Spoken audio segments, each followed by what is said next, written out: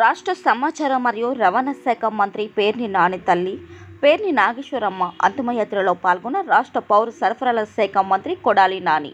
Pamarru MLA కైల Anil Kumar Avanigadda శాసనసభ్యులు Simhadri Ramesh Pedana MLA Jogi Ramesh Mylavaram శాసనసభ్యులు వసంత కృష్ణ ప్రసాద్.